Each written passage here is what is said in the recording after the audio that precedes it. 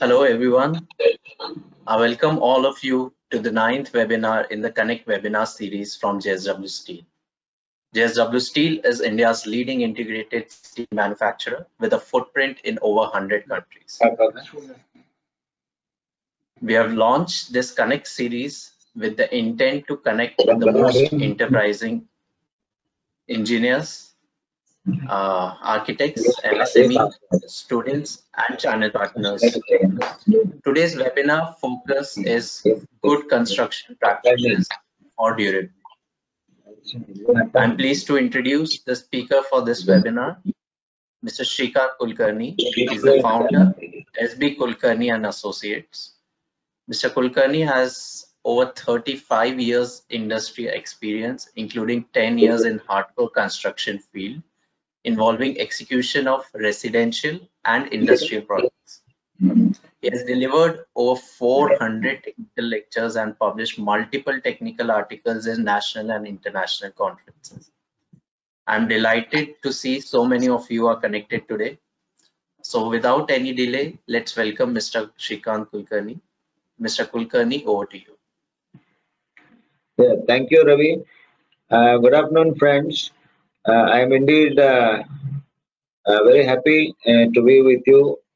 thanks to JSW Steel and particularly Ravi for inviting me for giving this presentation on a very interesting topic. that topic is good construction practices for durability.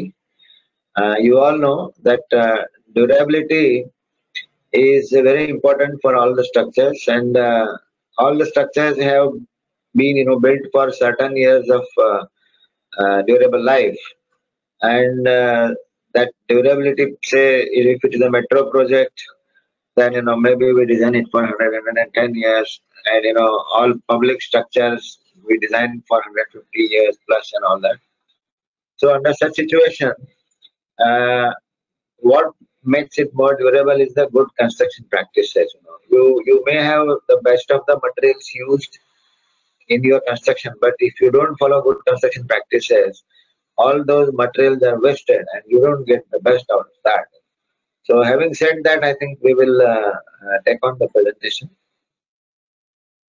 You can see this again. Yes.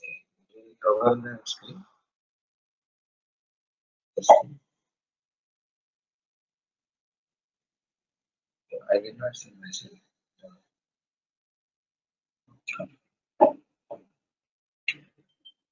Uh, well, before I actually start my presentation, I would like to uh, request uh, all the architects, engineers, and students who have logged in, they should uh, type their questions in the question box so that you know I will take up those questions at the end of the webinar. So whenever I'm uh, presenting, uh, if any question comes to your mind, I think you should uh, type it and then we will refer it to later on.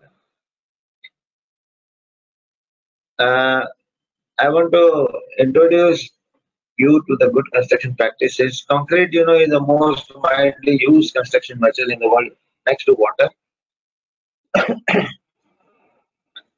it is a site-made material. Its quality can vary from site to site depending upon the material constitutions then uh, there is a considerable lack of understanding actually for adopting standard construction practices. You move across India, uh, you know, different parts of the country, people have different construction practices, though we're all governed by the standard construction practices laid down by IS 456.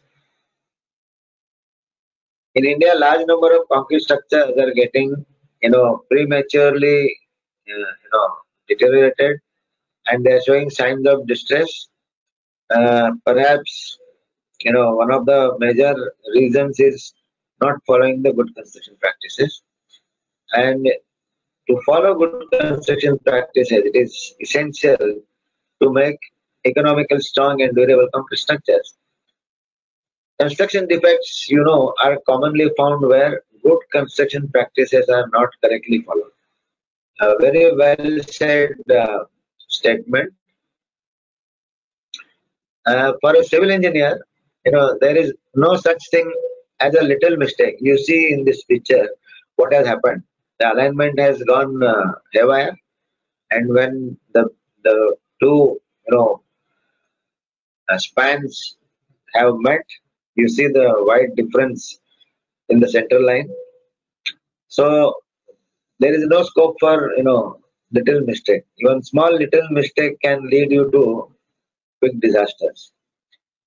Uh, i will first talk about some uh, aspects of good construction practices related to the reinforcement. And it makes sense also because i am talking from the platform of jsw steel. So we will uh, do the Shubharam, you know, with uh, with the talk on do's and don'ts for reinforcement placement work first. Uh, steel, you know, is a very uh, uh, important material that makes concrete more durable. It can take more strength. You know, concrete only takes compression. All the tensile forces are taken by the steel and Indian standard specification for high strength deformed steel bar steel and these wires they conform to IS 1786 and uh, there are four varieties of uh, strength grades. One is FE 415 this is pretty old one. Uh, almost uh, I think it was introduced somewhere in 7980 after that FE 500 come. FE 550 has also come. And now FE 550D also has come. D stands for ductile.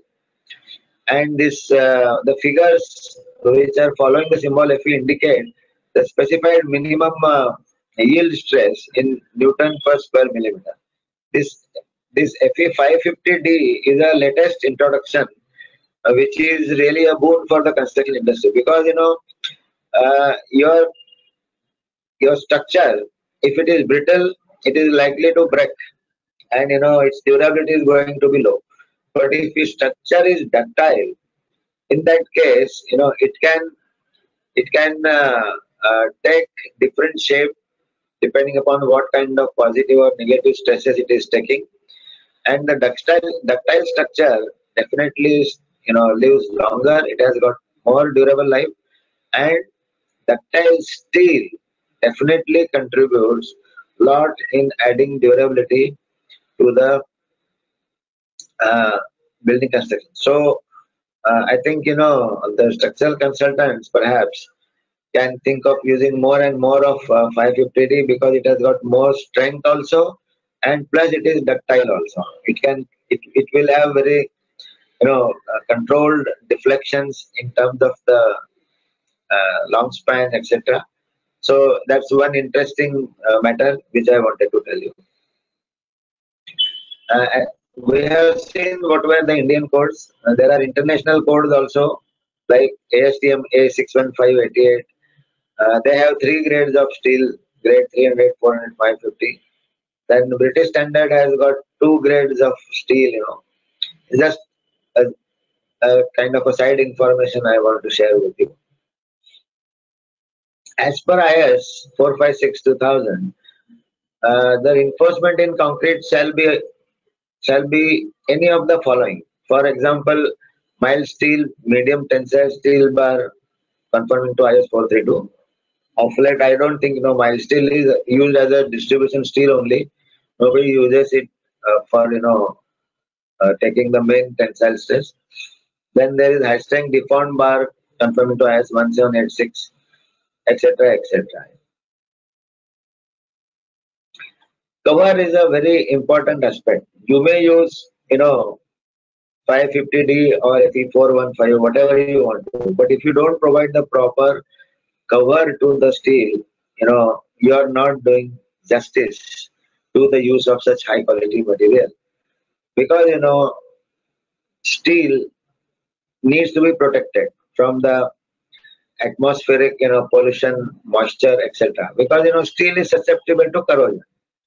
If steel corrodes, then you had it. I always compare, you know, uh, this cover to the steel, you know, is like what flesh is to our bones. If there is no flesh, if the bones are exposed, then what will happen to you? You can imagine. So on the same line, you can see here, this cover plays very important role in increasing the durability. We have to provide cover as per the provision given by IS 456 2000 for different exposure conditions. Uh, there are different shapes and sizes of uh, uh, covers. Uh, depending upon the requirement, you can manufacture that. One more thing, the grade of the concrete used for the cover should be one grade higher than the mother concrete. For example, if mother concrete is M40, your cover should be of M45 grade. You, know. you can see here, these rebars, the rebars are not at all tied here. The rebars are left untied. If this is done, how the loads are going to be transferred?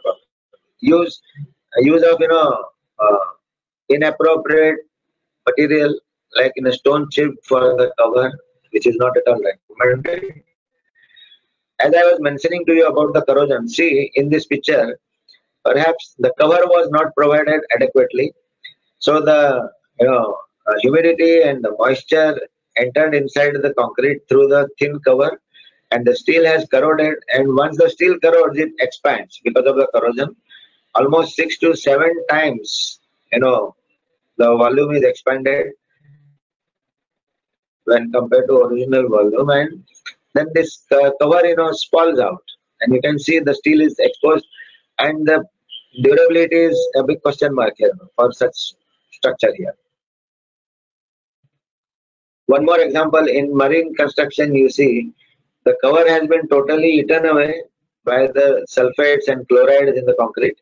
And chloride is a poison to the steel you know. Chlorides accelerates the corrosion of the steel like anything. You can see here that the steel bars are practically eaten away by the sea water because of the presence of chlorides. Here also you can see uh, the effect of corrosion and corrosion is like a cancer to the concrete you know. the durability is gone can, can anyone guarantee the life of the cancer patient? No, it's very uncertain. On the same lines, uh, when the corrosion takes place heavily in the building, it's very difficult to predict the balanced life of the structure. The durability is highly affected. See, one more wrong practice. The bars have been displaced and this displacement has taken place because people have moved on this without putting up wooden plank. The ideal thing is on these bars, the, the wooden plank should have been laid and people should walk on the top of it. If, if that is not done, then you know this displacement of the bars will take it should not happen. If your RCC consultant has said that your bar should be at say 100 uh, 100 millimeter apart, then uh, it should be 100 millimeter throughout till the final execution of completing work. It's not that at the time of placement you have put 100 millimeter uh, spacing and then it becomes 150 something like that. Then the load distribution will not be uniform. Here also you can see uh, the, the space has increased. It has been displaced. Uh, in slab, you know, on the top of the beam, this negative moment uh, exists. And for negative moments, we provide these uh, negative steel uh, reinforcement top bars, you know, and these top bars, they have to remain in top to take care of that negative bending moment. But you can see here, there is this bar is practically touching the bottom bar. Why? Because no chair has been provided to separate this top bar from the bottom bar. So the provision of chair is totally missing. This is absolutely wrong construction practice used here on this side. Then we come to this uh, slide where you know the cover blocks you see. Number one, this cover block is uh, placed here. Then I don't find any cover block in the distance of at least one meter. You know, what will happen? You know, this one cover block is not going to keep this you know cage of the reinforcement at that particular level. Suppose this is 15 mm or 20 mm cover block, uh, you know when people are walking on the top of this, you know this is going to settle down. So ideally, at every two feet distance, every two feet distance, there should be one cover block provided in a zigzag manner. For example, if one is here, then another should have been here, then the next should have been here, maybe one more here, like that. Then one more uh, defect normally we find at the site is people don't provide, you know, ring for the column. You. Without providing rings in this portion, the concrete is in, concreting is being done here in this beam column junction. Uh, what happens because of this, these main bars of the column they get displaced and the alignment gets highly disturbed. And you know many times these bars they they they, they are not as per the rcc design. And uh, so what is important one ring should be provided at the slab level and two three rings should be provided in this portion so that you know when you go for the next lift of the column the alignment is intact. Now we come to uh, the, this, this way already discussed. There is no provision of uh, you know cover blocks and chairs in this side also. Here the uh, bars are literally touching the shuttering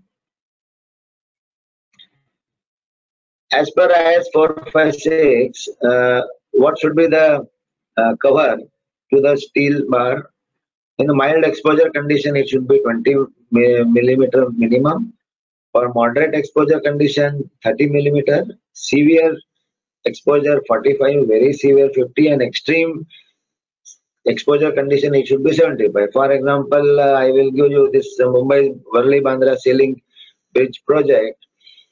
Uh, there, you know, it is a kind of an extreme exposure condition. So there, you know, for the columns, piles, etc., whatever structure, you know, is being uh, constructed there, the, the cover minimum provided is 75.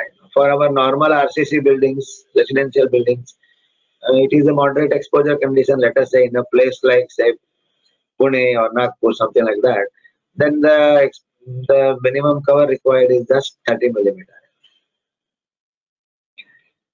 Congestion of reinforcement is another uh, common problem which we are facing today you go to any metro project for example you know the piers it is full of steel reinforcement and you know there is hardly uh, any place there is hardly any place for uh, uh, making the concrete flow uh, through the reinforcement uh, and this is a this is very very uh, undesirable undesirable because because of this, the concrete, if it doesn't flow right up to the bottom when you are pouring it from the top, naturally you can't pour the concrete from the bottom. It has to go from top to bottom. Uh, it will get segregated after hitting these rings and the main bar, you know.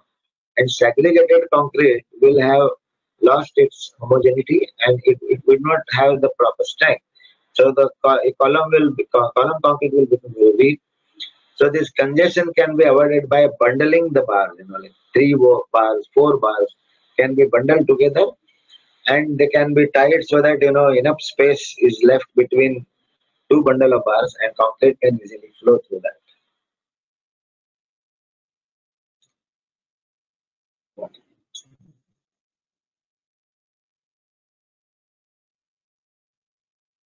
Uh, it was old practice where people were using you know overlaps to connect two steel bars. It was a very common practice you know.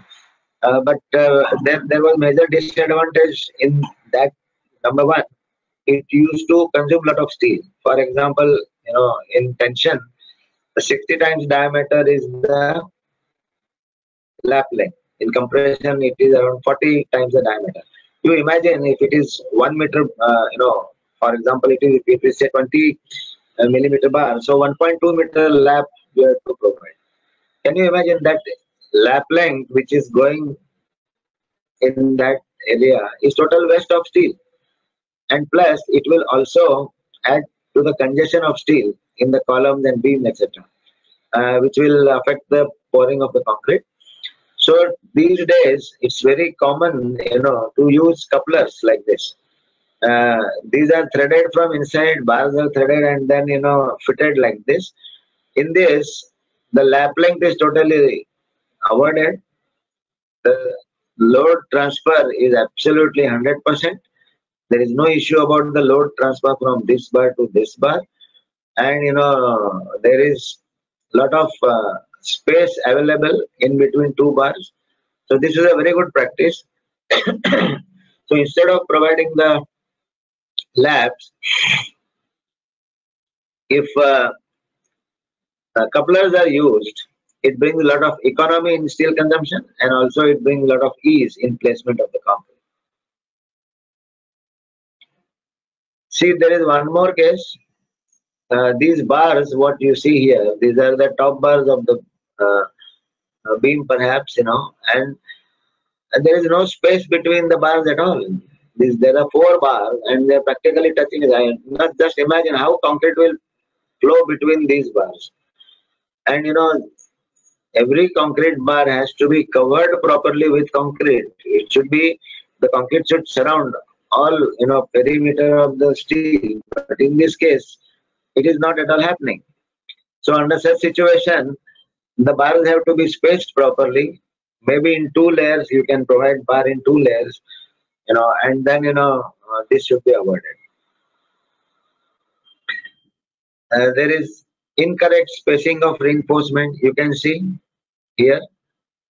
This is say roughly 6 7 inch is the space here and suddenly one bar is missing here. This should not happen. The bars should be properly spaced as per the RCC line otherwise the uh, the stresses will not be you know taken care of here the top bars are touching the bottom bars we already discussed that now we will see how to store and protect the reinforcement.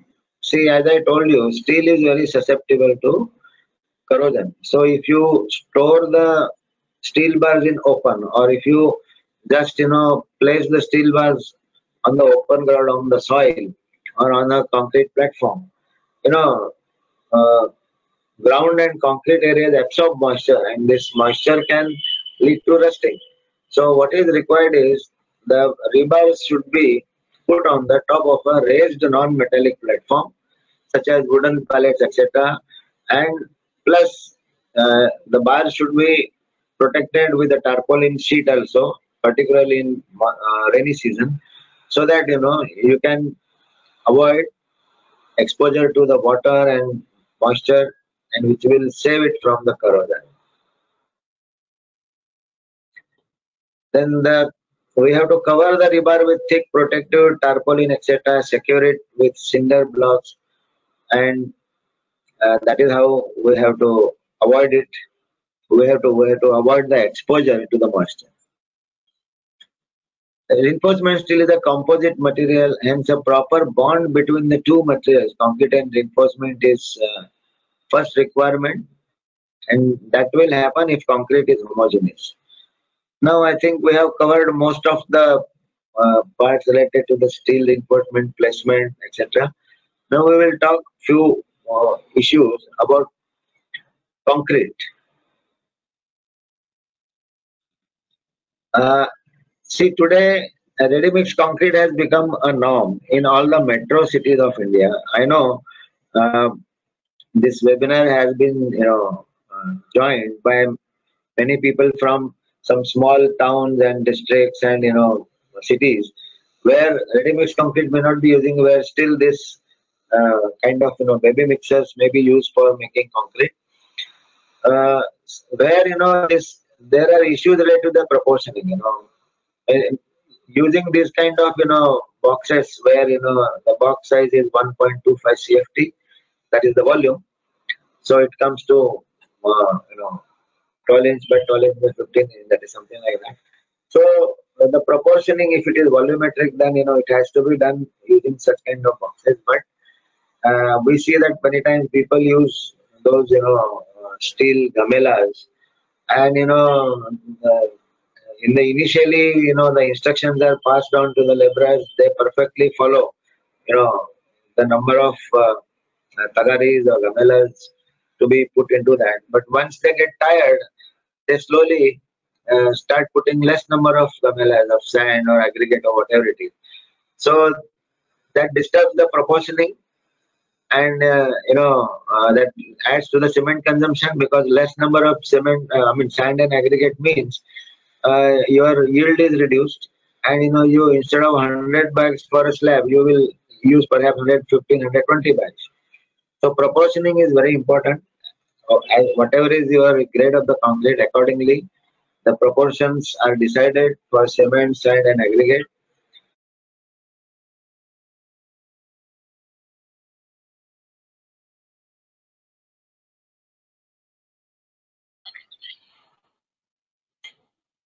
Water cement ratio i don't have to explain anything. It is so important. You know water cement ratio decides the strength of the concrete lesser the water cement ratio more is the strength we all know that rule but in you know small towns you see such you know dabbas are used there is there is no you know measurement in this he doesn't know whether he is putting 4 liters 3 liters or 2 liters of water by putting one dabba of water. But you know, uh, because of this, you know what happens? Because of his pure judgment, you know, he goes by his pure judgment and ends up using water cement ratio of 0.6 minimum. And you know, such concrete with water cement ratio of say 0.55, 0.6 will have definitely no strength. You know, we we engineers understand that. So if at all, you know, you want to use some uh, provision of this kind and you can use you know uh, 5 liter can which is readily available in the market and you know you can measure it. Maybe if you want to put you know per batch say 25 liters or say 22 liters uh, you can put you know um, small measuring cans and that should be the good construction practice. Then mixer is another issue. Uh, uh, these blades play important role. These blades, what role they have, you know, the concrete when the when the concrete is you know mixed in this, the drum is you know when rotating this drum rotation is supposed to you know bring the concrete which is at the bottom which is supposed to bring it at the top and then the concrete is supposed to have a free fall and this action should be repeated for several number of times but that will happen provided these blades are properly placed. You see, uh, there is almost 4 inch difference here. Now, in this kind of situation, this concrete will not get lifted. It will remain in the bottom only and the mixing will not be homogeneous. So what should be done? There should be hardly 1 inch one one inch uh, gap here you know and there should be perhaps one more plate welded here maybe one more bar welded here so that you know the concrete gets lifted and it falls down freely from this top and it gets you know the homogeneous mixing out of it. So many times you get bad concrete because your mixer you know is having defects. So you should look into that also. This is a typical example of a uh, unorganized batching plant, you you should not uh, buy concrete from such plants. See the see what a shabby condition of plant. You know, no housekeeping, nothing. Materials are just lying here and there. One should avoid going to such RMC plants where you know things are not in proper shape. Uh, in small towns, as I mentioned to you, concrete is manually placed. You see, there are no no planks provided. These uh, laborers, they are moving freely on the uh, bars. They are disturbing the bar uh, alignment. And this this this should not happen. This, and you can see even the, the bars here, uh, they have not provided enough uh, length of the bar here to uh, have a proper lap length naturally, you know, you can see here they have provided proper, you know, length of the bar here, which is coming out. But here, this is not acceptable. Perhaps it will not follow the criteria of 40 times diameter here, which is required to be provided. uh, from which height we should place the concrete. Uh, the, the IS says that you know, the maximum height of placement should be 1.5 meter. So anything more than that will segregate the concrete and segregated concrete is not a good concrete in terms of the strength and durability. Uh, especially this issue is faced you know severely when you place concrete for footings. I mean open footing you see uh, this concrete is being placed from the top. This concrete hits the rings and the column bars and in the process it totally segregates. It segregates and all segregated concrete goes into the footing. And what you get finally is this honeycombed concrete for the footing. Uh, friends, imagine that you know your footing is such an important structural element. The whole building's load is transferred, you know, to the Mother Earth through this footing. Don't you think that the, the footing concrete should be the strongest? Next to that, the columns. The column transfer the, the load of entire flooring, you know, to the beams. So the entire slab is supported by the columns. And the column concrete also should be the strongest. But actually, see what is happening, you know. And so, you know, here what should be done? We should provide a small ladder here wherein one person can, you know, stand here in between and he can pour the concrete from that position without making it, you know, undergo a fall of say 8 feet, 9 feet, 10 feet like that. This is a typical uh, segregated concrete mix you see which is coming out of the mixer. Perhaps this mixer didn't have you know proper blade positioning. And here also you can see uh, a lot of segregation has taken place. This is another you know typical case of a segregated concrete. See you can see the aggregates practically being separated and there is no homogeneity of the concrete mix uh, this this this will this will lead to what you can imagine you know there will be very poor strength in this concrete and i don't know only perhaps god can save this structure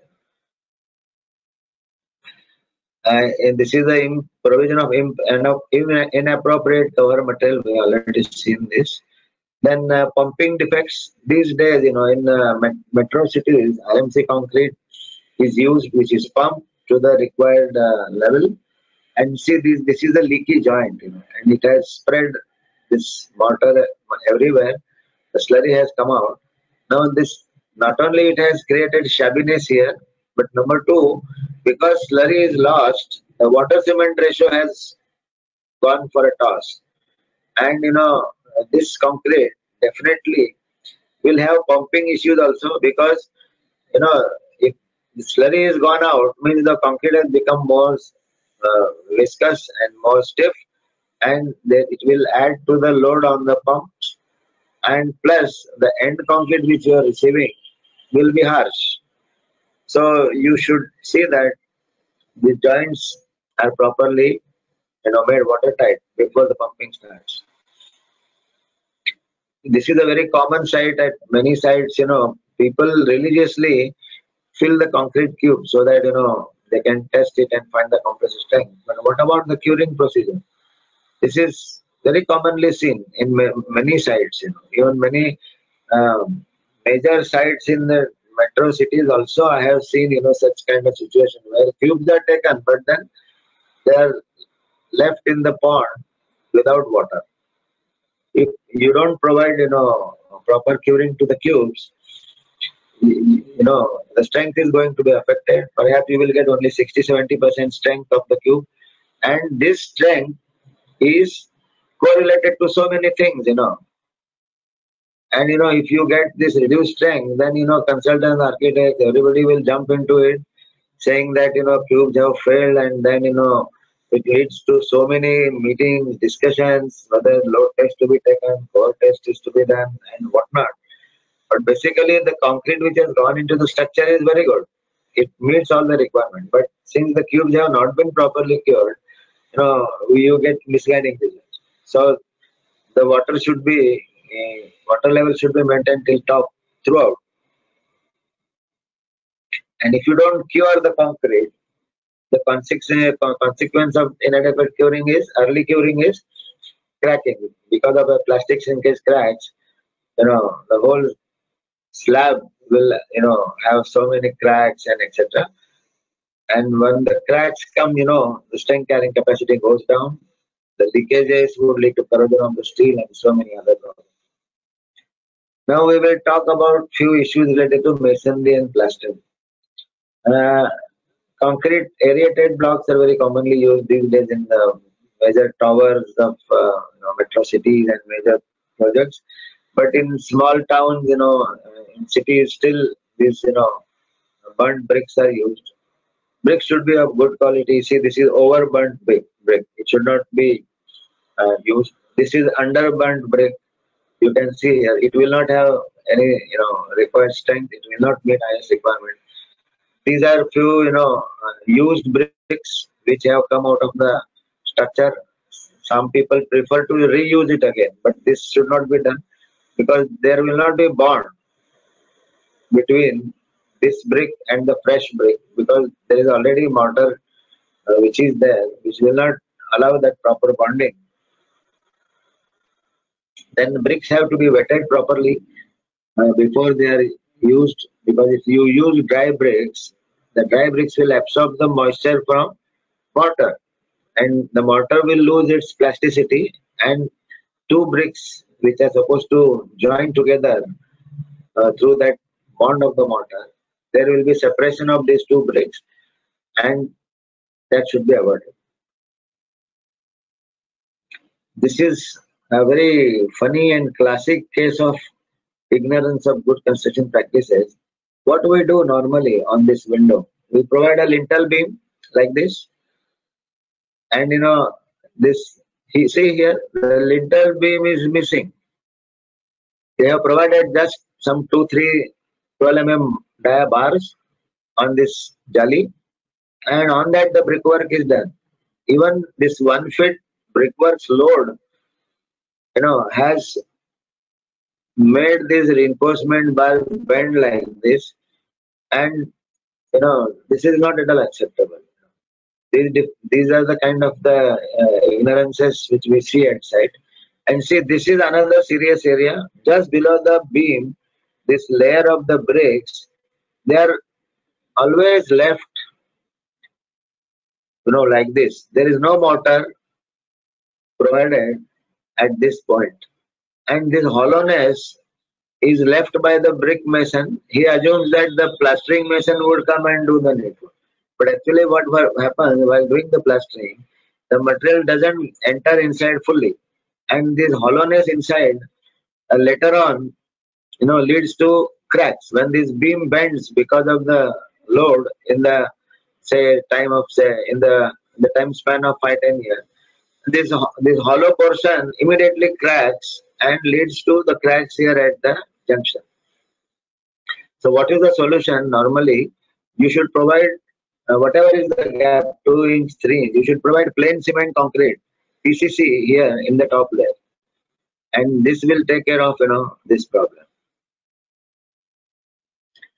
So bricks should be good bricks. What are the properties of good bricks?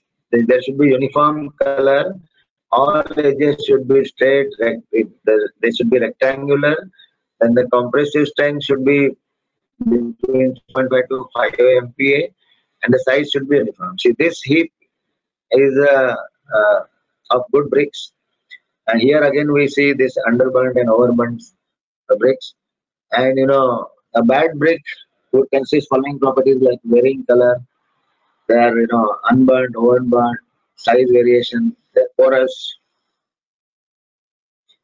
uh, some people at site they make a you know tank wherein they place the bricks and you know the bricks are fully soaked in the water and then they are used if it is not possible then the bricks can be you know wetted by uh, water jet like this no issues uh, as i was mentioning to you uh, in metro cities it is very common to use autoclave, autoclave aerated concrete.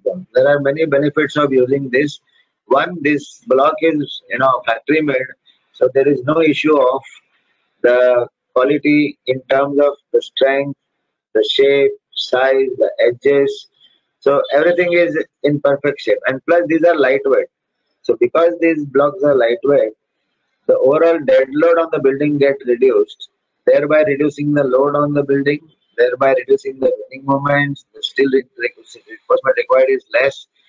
Uh, the overall, when the load gets reduced, you know, the design becomes economical. And plus, you see the joints. The joints are so uniform. Even the mortar consumption is less. So, uh, if you can use autoclave aerated blocks, whether it is a metro city or a small city or a you know town or a district, district, whatever it is, if it is available, one should use this because you know anyway these soil bricks are you know uh, not going to give any benefit and we can conserve some soil, soil and some ecological thing also can be taken care of.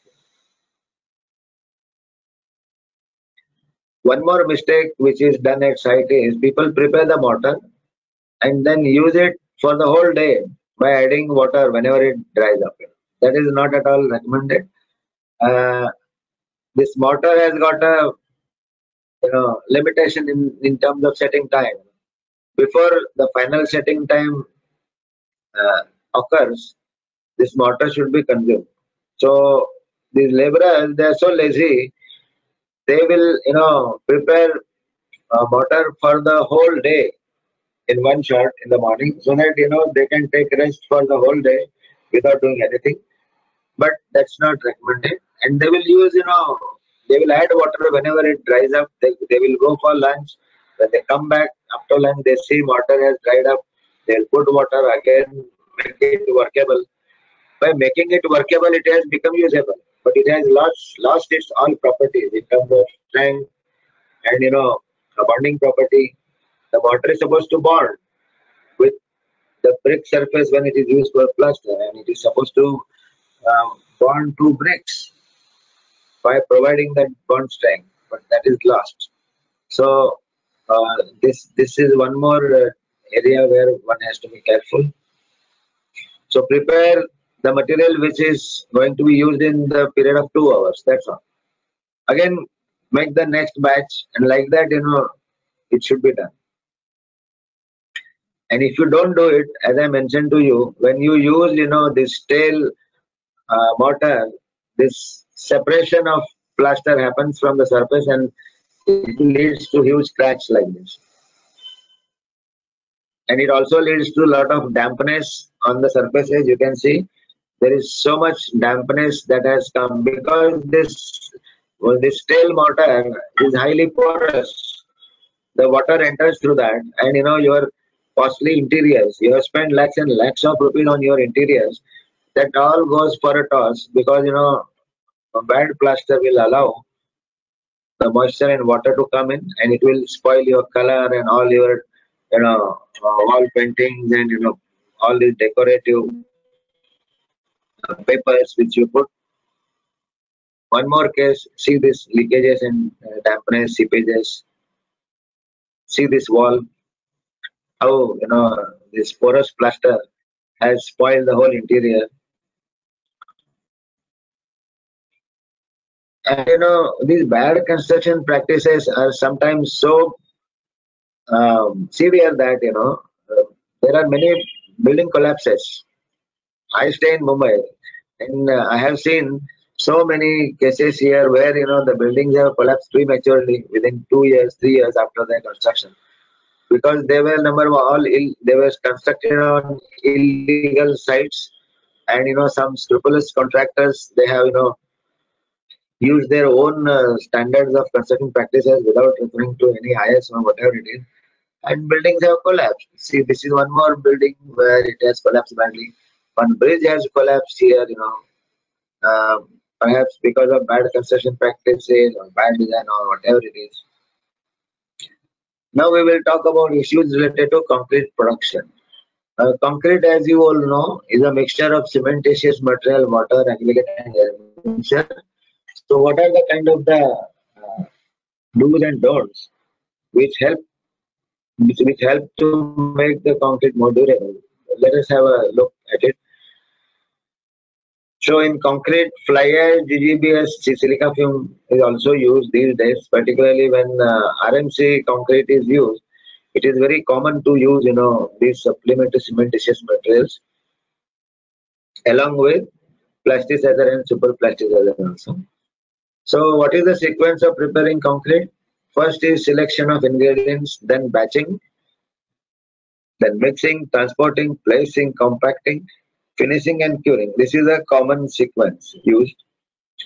Uh, selection of concrete ingredients. Which are the main ingredients? Cement, aggregates. In aggregates, we have coarse and fine aggregates. Then there is water, admixture, and cementitious material.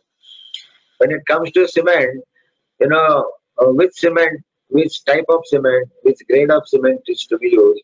It all depends on the type of the construction you are in. Now, you know, uh, in market, 33 grade is almost, you know, uh, vanished. You don't get 33 grade. What you get is 43 grade and 53 grade. You get PPC and you get slag cement. These are the common cements which are used. Uh, it is very customary these days to use 53 grade cement for making concrete of high grade. And you know for finishing works people use 43 grade or uh, Portland Pozzolana that is fly ash I would personally recommend that you should use PPC for finishing works, waterproofing work and you know tile fixing work etc. That is non-structural work. And you know 53 grade cement should be used for or 43 grade cement should be used for RCC construction and where you require very high durability like you know construction in uh, marine uh, environment or maybe construction in a marshy land you know where a lot of uh, sulfates chlorides etc exist in the soil or water which can damage the concrete very badly then the slag cement should be uh, the best option. There are many factors you know which uh, which will which will uh, allow you to select the right type of cement. Maybe the functional requirements ground conditions environment exposures speed and method of construction. If you're looking for very speedy construction like precast presters etc you can't use ppc you know which will have low uh, early strength you have to go for 53 opc or maybe even one grade higher than that. That is irst 40 grade cement which is much much finer than OPC 53 also. And you know uh, uh, where you know you require high durability, I mentioned you can use PPC or PSC. Aggregates. Uh, aggregates properties influence your workability, strength, stiffness, creep, etc. And economy also, the durability also. Uh, in aggregate, there are two types of aggregates coarse aggregates, you know, like 20 mm, 10 mm, 40 mm. Their shape should be cubical, rounded, you know, flaky, and elongated uh, aggregates should be avoided because that will not give you number one cohesive mix and it will increase your cement consumption and it will also increase your water demand for getting certain level of slump and it should have all the mechanical properties conforming to BIS and uh, alkali aggregate reaction is one more important aspect uh, especially for some parts of India in the northern part, eastern part where aggregates are reactive. The alkalis in cement react with uh, aggregate and the aggregates expand. After you place the concrete, it starts expanding and thereby internal stresses are developed and concrete cracks and durability goes for a toss. So aggregates should be tested before the project starts from all these points of view. Fine aggregates, uh, these days it is common to use, you know, manufactured sand also in many metro cities. Many RMC plants they use manufactured sand, but in, in uh, many uh, other parts of India, you know, still sand is used as a fine aggregate. Uh, it's you know 4.75 millimeter and below size. That is known as a fine aggregate.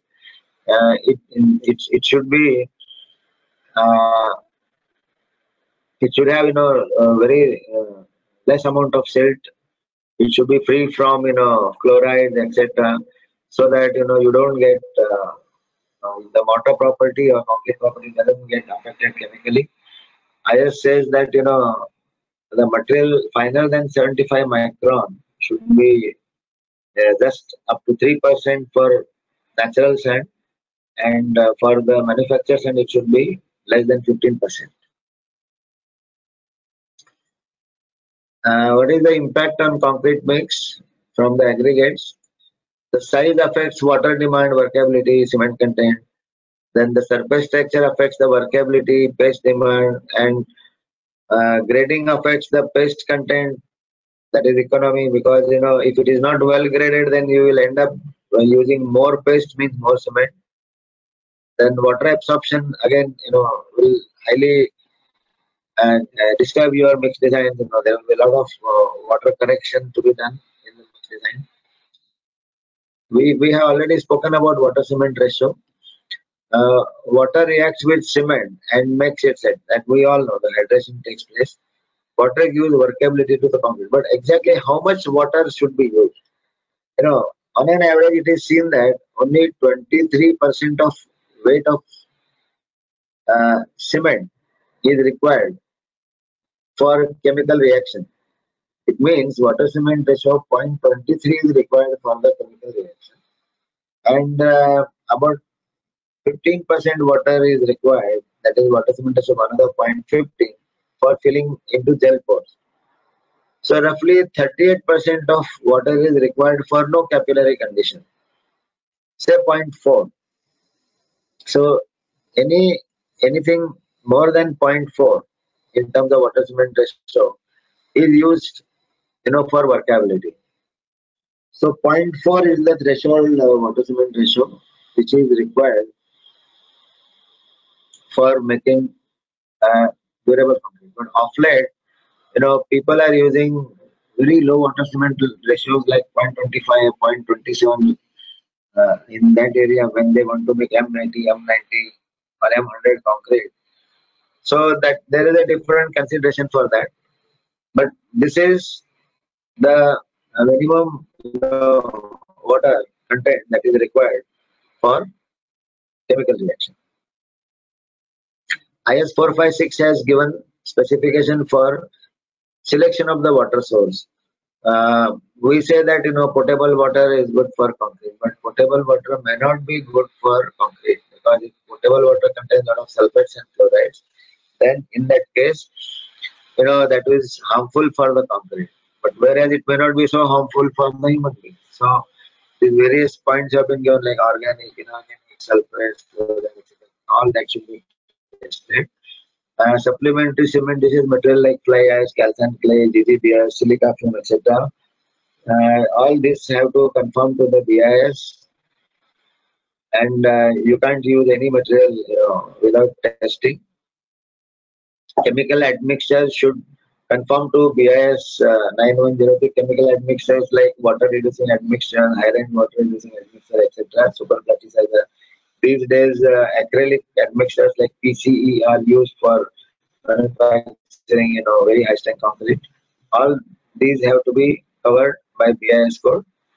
Uh, before any plasticizer is finally, you know, uh, chosen, it should be tested for its compatibility with the cement because you know all all plasticizers will not be compatible with one cement and all cements will not be compatible with one plasticizer. So you have to match the compatibility by using Marsh cone test. You can see here, this is the Marsh cone, you know, which has small test is there, which will allow you to decide whether the plasticizer is compatible or not. Uh, typical problems with super plasticizers are the compatibility with cement, then there is the variation in specific gravity and solid content of super plasticizer. These are the major two problems. So when super plasticizer is received at site, you should immediately check the specific gravity of it and also the solid content. If there is variation in this, it means there is a variation in the batch and it will affect your slump and you know slump retention, etc. Uh, slump loss during transportation is a very common thing in RMC concrete. When the transit mixer is traveling from the plant to the site, in cities like Mumbai, Pune, Bangalore, Delhi, the traffic jams, you know, will hold the uh, transit mixer in the traffic for hours together. At the same time, what is to be done? The concrete is designed for say uh, two hours retention, you know, slump retention. If, if the transit mixer takes three hours to reach the site, then what should be done? Normally, uh, that mix, mixer driver and the cleaner, they would they would add some water to the concrete and make it workable. But by adding water, you have spoiled the original composition of the concrete in terms of water cement ratio. If you know he has added some five liters of water, it means the water cement ratio has gone up now, and it will reduce the strength. And more water cement ratio means less durability. So that should not be done. Under such situation, you should add add plasticizer under the advice of quality engineer in the mixer and make the concrete workable. The concrete batching, the process of measuring concrete mix ingredients is either by mass or volume. In ready-mix concrete, it is of course by mass. And to produce a concrete of uniform quality, the ingredient must be measured accurately for each batch. When we talk of RMC plant, the calibration of the plant on a regular basis on a uh, at, at, a given interval, maybe after two months, three months, whatever is decided, should be done religiously and most concrete today is batched and mixed by ready-mix concrete plant. And smaller sites use the traditional volume method of concrete batching. There, the problems uh, are faced. We have seen you know, what kind of problems they face. You know, instead of using those small, you know, measuring boxes, uh, there are such uh, uh mini batching plants available where you can see there are three compartments you can add aggregate, sand, and cement. And there is a small weighing arrangement also here. You can see how much, uh, how many kg of material you have added in this. And there is a water tank here. You can control the water quantity also going into the mixer. this is a much better way of doing the concrete on a, on a small scale, you know. But this is a more scientific. This is view of a organized uh, RMC plant. We have seen one view of unorganized RMC plant, but you can see how well maintained RMC plant this this one is. You should go to such plants and get your concrete. How to uh, protect the aggregates? The aggregates should be put under a shade like this. We should not store the aggregate in the hot sun because the temperature of the ag aggregate affects the quality of the concrete in terms of the, the water demand and slump loss. And you can see the sp sprinkler here. The sprinklers are, you know, uh, used to keep the concrete in cool condition, particularly in summer. Uh, this we have already seen uh, difficulty in placing concrete due to reinforcement congestion. I will not repeat anything in this. We have already discussed this couplers also uh, we have discussed. Because of the couplers the placing of the concrete becomes very easy because uh, more space is available now. Uh, what are the preparations we have to do before placing the concrete? When we are doing the um, concreting for the flooring the compacting of the soil trimming and moistening the subgrade etc is required then the uh, the shuttering and the formwork has to be you know checked for its rigidity. We can't allow you know uh, flexible uh, unrigid kind of uh, uh, shuttering material because it will lead to accidents.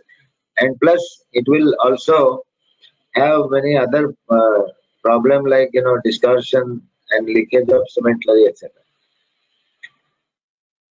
the reinforcement steel and other embedded material they have to be secured in place. They have to be properly tied up. The covers will have to be provided properly.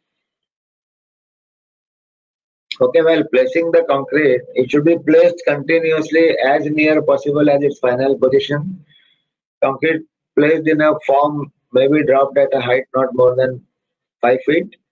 Rate of placement should be such that previously placed concrete uh, has not set when the next layer is placed upon it. So you can't put the fresh concrete on a dried concrete. Concrete should be placed in the wall, uh, slab, foundation, etc. in horizontal layers of uniform thickness and each layer should be thoroughly consolidated. Uh, the segregation of concrete uh, should be avoided. You can see here uh, few pictures where concrete is being placed. Uh, mechanical placing of the concrete, you can see the concrete is being pumped and you know it is flowing like uh, oh, water. It is so homogeneous and so nicely mixed. You can see the flow here. Uh, the concrete can be placed through the pumps. You can see this is a pipe placed here and concrete is being placed on the top. What is more important is that this pipe should be clamped at different levels. Here see this this freely hanging pipe. It has not been clamped with the supporting structure. There is no support provided here. This should be avoided because this this will lead to accident many times. You know, the, the joints they break, the pipes will break, and you know it will lead to major accidents. And concrete should not be dragged like this. He is trying to see the concrete is placed here through the pump, and he is dragging it to the desired place. It should not be done. This concrete should be placed as near the final location. If you want to place the concrete, provide extension of pipe here and place the concrete here only. This dragging will make the concrete until a segregation, which is not recommended. Uh, concrete placement through boom pumps is also very common for major projects, you know, uh, where, you know, uh, your transit mixer cannot reach. Under such situation, when such difficulties are placed, uh, then, you know, in such situation, the boom pumps can be used for placing concrete these are modern techniques which are commonly used. Then we come to the compaction of the concrete. Compaction is very important. You know, Uh, if you don't compact the concrete, your best of the best concrete produced in the RMC plant or in your batching plant will will not give you desired result and durability in terms of the compressive strength and durability. So compaction of concrete is very important if there are 5% voids in the concrete, it will reduce the strength to the extent of 30%. The main job of compaction is to expel the air which is there in the concrete. The entrapped air has to be expelled. And if there is air inside the concrete, it will create voids. So, method of compaction, you know, of course, you have to use the vibrators, needle vibrators, uh, formwork vibrator, stable vibrator, platform vibrator, or surface vibrator, depending upon what kind of work you are doing. But but but compaction should be done absolutely properly. Uh, how to do the compaction again is a very uh, million dollar question. Uh, as shown here, the needle has to be put vertically inside the concrete. It should not be put horizontally and uh, the the distance between these you know two locations where you put the needle should not be more than one feet because you know there is a radius of action if you put except suppose two feet then you know there is no overlap of this radius of action there should be always overlap of radius of action while compaction is done thereby you ensure that the whole uh, mass of concrete is compacted this is one more view of uh, compaction. Uh, you can see here, this is a old layer of the concrete and this is the new layer of the concrete. The needle is put vertically and the needle has uh, entered into the old concrete. At least, you know, it should enter by two inches. It should not be like this. Here you see this concrete, this needle is it, it is you know in the top layer only. It has not entered in the bottom layer. So what will happen? There will be a separation layer between this fresh concrete and old concrete. It should not happen. These these two layers of the concrete they should merge together because of this needle penetrating inside here. Now we come to finishing. Uh, finishing is very important uh, activity because you know all concrete has to be finished properly so that you know you get the desired size of the size uh, of the slab for example if your slab is 5 inches by finishing you can make it exactly 5 inches otherwise what will happen at few places the slab would be only 4 inches at some places it will be 6 inches. So that is number one benefit. The uniform surface uh, uh, you will get after finishing. Uh, what are the uh, tips for doing finishing? Steel floats should be avoided. You should preferably use wooden floats like this because steel floats will make the surface very smooth and it will make you know a lot of fine particles come on the top of the slab and uh, it will uh, it will you know bring all the fine particles on the top and laitance would be formed on the top of the slab and it would lead to shrinkage cracks your concrete should appear rough when you finish it. So uh, avoid we should avoid sprinkling of dry cement powder on the concrete surface. We should avoid rubbing the surface with neat cement paste. We should avoid over vibration, which would result in bringing too much slurry to the top surface. And personally, I feel that you know all concretes which uh, are finished, they should have rough surface like this. No, no surface should be left smooth because smooth surfaces, particularly in in a residential building, let us say, or in a commercial building, uh, when you provide tiles on the top of the slab, the smooth surface will debond the bedding mortar of the tile and the tiles will come out in the process after maybe two years or three years. If the surface is rough like this, then in that case what will happen? There will be proper bonding between the bedding mortar and the tiles would be there in, in the, that position for uh, maybe 10 years, 15 years without any damage. So I was talking about the broom finish. So brooming should be performed before the concrete has thoroughly hardened and all concrete should be broom finished. That is my strong recommendation. Smooth finishing should, should be avoided. Surface protection is very important. Now you have done everything all right, but if you don't protect the surface, then again you know that the concrete surface is exposed to sun, wind, rains, the concrete will get damaged. So the freshly placed concrete should be protected immediately. Now, for example, concrete roads are protected by using these tents which are moving on the wheels and you know it is protected from the harsh uh, hot sun.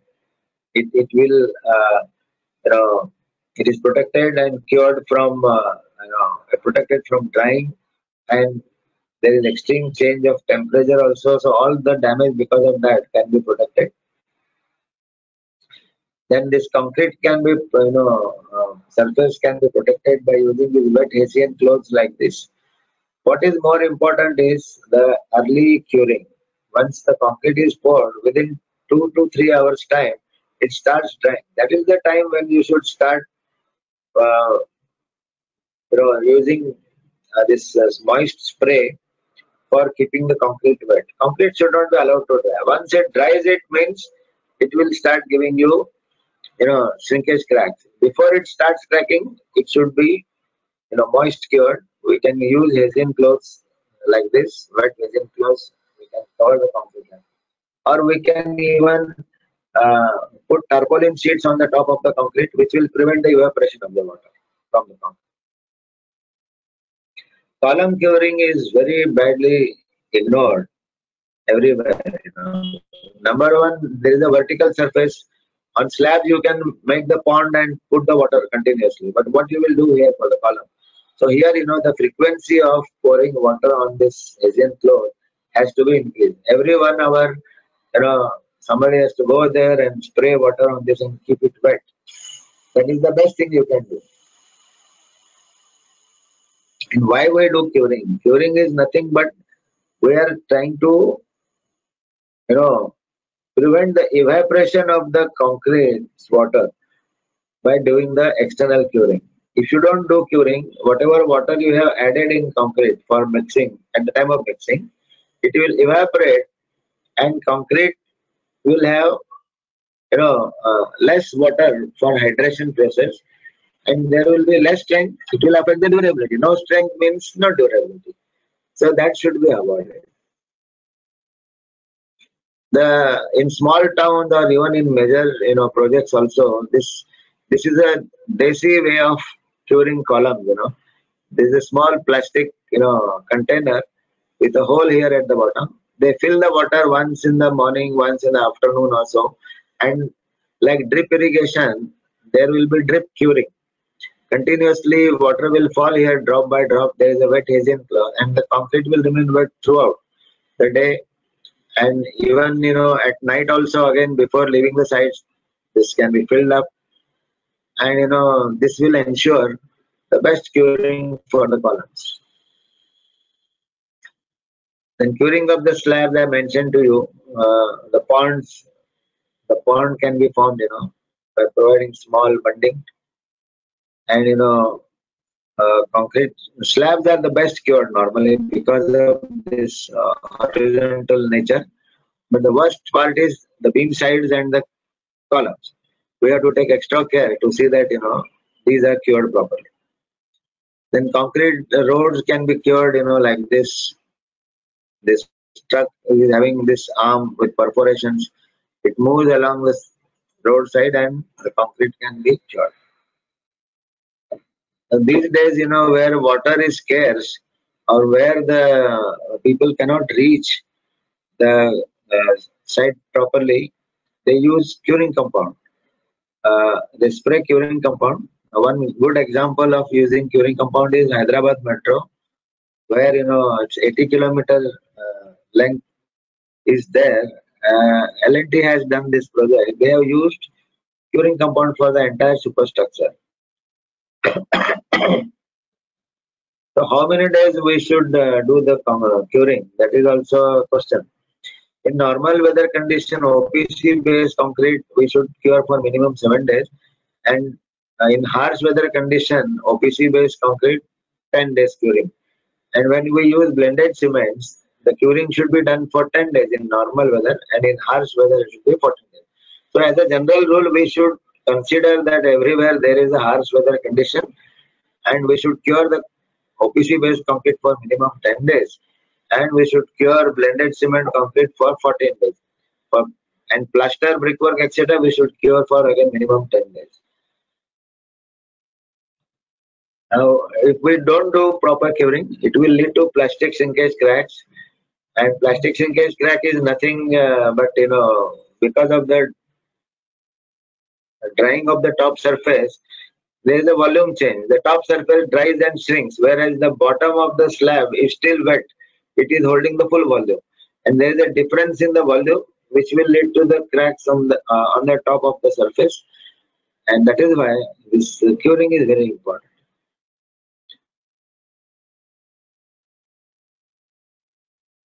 Early curing is very important in summers particularly we have to take extra precaution because you know rate of evaporation is very high. The aggregates have to be stored in the shade you can perhaps use even uh, ice or cold water for making concrete. Then the sprinkling of the water should uh, be done on the aggregate so that the temperature is not uh, you know going up. Then even the formwork reinforcement etc also can be sprinkled with water to bring the cooling effect just before concreting. In concrete cubes, uh, they are not filled properly at most of the sites. You know, uh, there is a standard procedure. We have to uh, fill, you know, concrete cubes in three layers, and then after filling the cube, you can't just allow it to dry up in the hot sun. It has to be put in the shade. It has to be uh, kept in a standard temperature like 27 plus minus 2 with 90% humidity, 90% plus humidity, all this has to be followed. And then after 24 hours, you have to demold it and then put in the water for water cooling. The rate of loading is also very important. Uh, 140 kg per cm square per minute is the rate of loading that has to be maintained. the rate of loading should not be more or less. In both the cases, you will get misguiding results. And when should we remove the formwork? Vertical formwork to the columns, say uh, uh, in one day, 24 hours. Then slabs, you know, and beams. Beams can be, uh, as a general rule, the shuttering can be, but bottom shuttering can be removed after 14 days. For slabs, after seven days. Uh, we have almost come to the end of our presentation. Uh, after having gone through all this, I, I have to say something that there is need for introspection. In most of the sites in our country, the following points in totality or in different combinations are encountered. Number one, people want to switch over to different brands of the cement owing to marginal difference in price. This should not be done. You know, uh, different cements are having different chemical properties, and you know, from that point of view, at the max, you know, you should have two brands of cement, one as a fixed brand, and in case of emergency, if that brand is not available, as a standby, as a backup, there should be another brand. For you know, short period, you can perhaps go, but then uh, you should not switch over from one brand to other just because you know some competing company is providing you cement at lesser price. That should not be the criteria. You should go to the standard cement companies then there is low, low reliability in quality of aggregate these days you know. Uh, the either you get undersized or oversized aggregates. So you should not change the source of aggregate. Once you fix it uh, for whatever reasons then improper water cement ratio is another problem. We discussed that. Then use of hand mixed concrete for structural members like column etc should be strictly avoided unscientific approach for compaction of concrete should be uh, out of question. Curing of concrete is many times neglected. We have just now seen how many days the concrete should be cured. We should follow that. Then deshuttering of structural members should be done as per the uh, as per the provisions made in the BIS, or you should ensure that the proper strength is achieved by crushing the complete cubes, ensure that the required strength is available, and then the deshuttering should be done. It should be done in a scientific manner. And compatibility of construction chemicals, superplasticizer, you know, etc., with cement is normally not ascertained. The people blame either cement or the plasticizer. Mostly they blame cement, but it is not the case. Cement is good, plasticizer is also good, but they both are not compatible. In such situation, you have to uh, select the right type of the plasticizer which is compatible with cement. So in concluding remarks, I would say that only using good quality materials will not improve the durability and service life of a structure. Good concrete structures can be built provided good construction practices are followed in following areas like selection of uh, concrete ingredients, right type of materials, right concrete for appropriate end applications. Right concrete means right grade of concrete. Then proper mix design, batching, mixing, transporting, placing, compaction, finishing, protecting, curing, etc. Then accurate reinforcement detailing, adequate cover, good quality formwork. Then safety is very important at sites, you know. At the cost of safety, you can't, you know, go and get the quality. Safety and the maintenance, housekeeping, etc. is also very important. And overall holistic site management plays very important role in this. Uh, well, uh, that was all from my end. Thank you very much. Now, uh, if there are any questions, we can take up few questions and I will try to answer them. I know.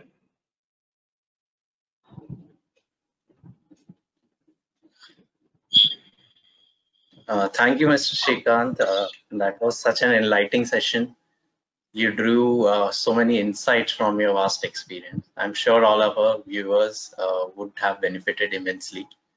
Thank you once again. Yeah, my uh, pleasure. Thank you. Uh, to all our viewers, thank you all for being such a wonderful audience. in case you have any questions, feel free to connect with us. We'll be happy to sort your questions and queries.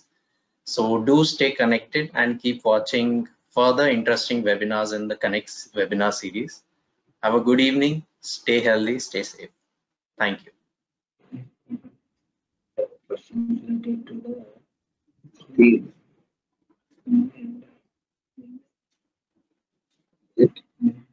I think there are many questions uh, coming uh, related to the steel actually.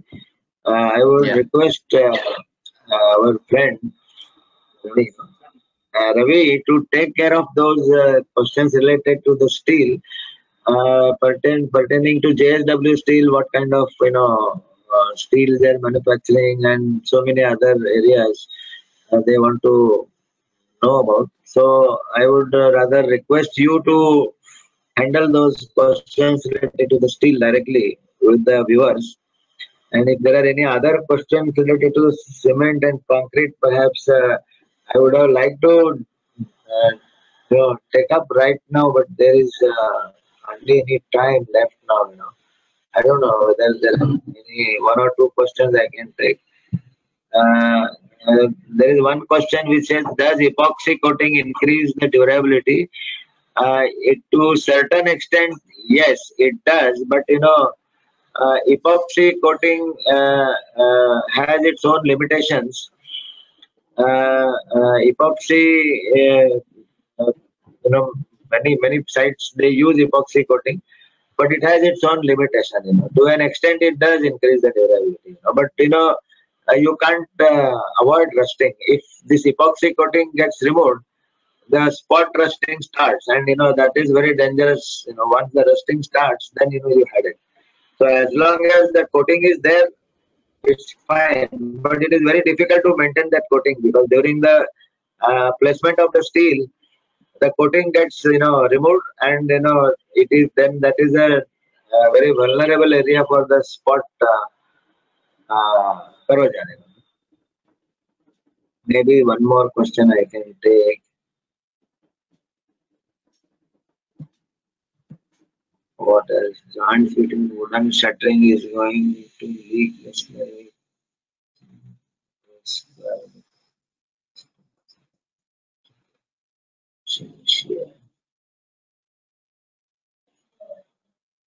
Uh, there is one question that uh, whether we should provide the cover blocks under the electrical conduits in slabs as well. Yes, I would recommend that. You know, says, there is one more question which says that whether cement wash is recommended in exposed steel during construction. Cement wash is a uh, temporary thing. You know, it it really doesn't uh, help you beyond uh, an extent. You know, it is a temporary solution.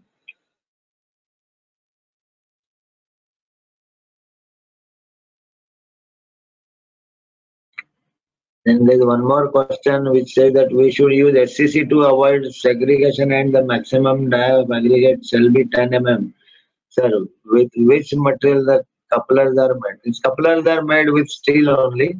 Yes, self-compacting concrete is the best solution, but one has to look into the cost aspect. You know, it is roughly around 10 to 15 percent costlier than the normal concrete.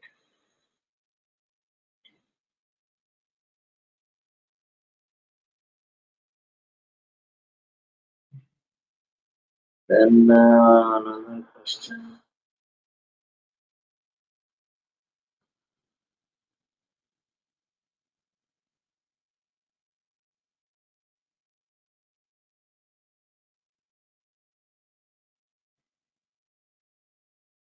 I think uh, uh, we are running short of time.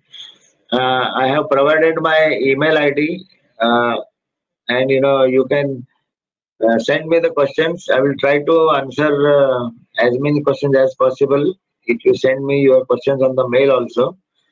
So with that, I think uh, I say once again thank you very much for all who have joined this webinar, and I thank JSW once again uh, JSW Steel once again for giving me this opportunity to be uh, with the technocrats today this evening. Thank you very much.